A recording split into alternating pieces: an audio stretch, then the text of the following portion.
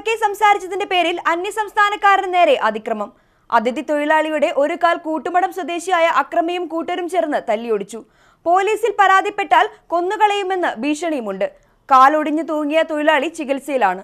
സ്വന്തം മകളെ ഫോണിൽ വിളിച്ച് സംസാരിച്ചപ്പോൾ അല്പം ഉറക്കെയായി പോയി എന്നതിന്റെ പേരിൽ അതിഥി തൊഴിലാളിക്ക് നേരെ ക്രൂരത കൂട്ടുമടം സ്വദേശിയായ സുബിൻ എന്ന യുവാവും കൂട്ടുകാരും ചേർന്ന് അന്യസംസ്ഥാനക്കാരനായ സാധുവിന്റെ ഇടതുകാൽ കമ്പി വടികൊണ്ട് തല്ലി തകർത്തു നിലവിളി കേട്ട് നാട്ടുകാർ ഓടിക്കൂടിയപ്പോഴേക്കും അക്രമി സംഘം രക്ഷപ്പെട്ടു ये काम ख़त्म करने के बाद आया फिर मेरा दो साल का लड़की बच्चा है वो बच्चा को मैं फ़ोन करने के टाइम वो थोड़ा साउंड मेरा ज़्यादा हो गया बच्चा का वीडियो कॉल में कर, कॉल करता है मैं। तो उस टाइम उन लोग पीछे वाला साइली का साइली चची है उसका दुकान है उधर एक चाटा कोड़ी बिजन होलसेल करता है। सुबिन उसका नाम सुबिन है। वो आके बोला क्यों इतना चिल्लाता है? मैं बोला थोड़ा फ़ोन करता हूँ तो उसको ठीक है साइलेंट कर। मैं बोला ठीक है चाचा साइलेंट करता हूँ।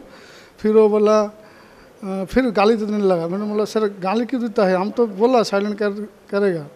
फिर भैया आप भी आएगा तेरे को मारने के लिए। वो आके ऊपर चला गया। हमारा रूम मालूम नहीं दूसरा रूम में चला गया।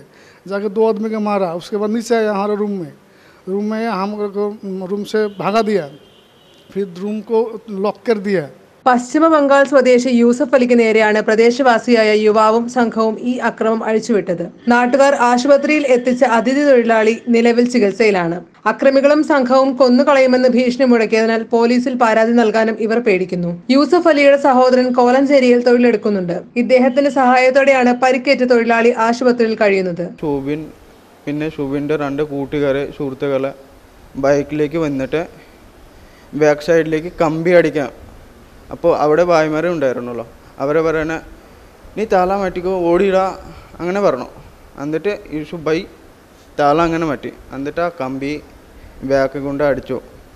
യൂസു ബൈ താള മാറ്റിയില്ലെങ്കിൽ ആ കമ്പി ഡയറക്റ്റായിട്ട് താലയിൽ മുട്ടി യൂസുബൈന്റെ മരണം ഗ്യാരണ്ടി ആയിരുന്നു. എന്നിട്ട് ബൈ ഓടി. വീണ്ടും റോഡിലേക്ക് ഓടി കാനാൽ വാടി റോഡിലേക്ക് ഓടി.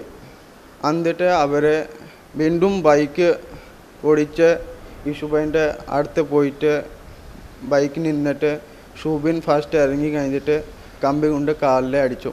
കുറുപ്പുമടി പോലീസ് ആശുപത്രിയിൽ എത്തിയെങ്കിലും ഭയം മൂലം പരാതി നൽകാൻ പോലും ഇവർ മടിച്ചു. അതിഥി തൊഴിലാളികൾക്ക് സർക്കാർ നൽകുന്ന നിയമ നിയമസംരക്ഷണം ഇവർക്ക് ഉറപ്പാക്കുമെന്നും അക്രമികളെ മാതൃകാപരമായി ശിക്ഷിക്കുമെന്നും പോലീസ് പറഞ്ഞു. എങ്കിലും രാഷ്ട്രീയ സമ്മർദ്ദം അതിഥി തൊഴിലാളിക്ക് നേരെ ഉണ്ടായ ഈ അക്രമത്തെ ഒത്തുതീർപ്പിൽ അവസാനിപ്പിക്കാനാണ് സാധ്യതയെന്ന് ജനസംസാരമുണ്ട്. News desk Perumbavoor.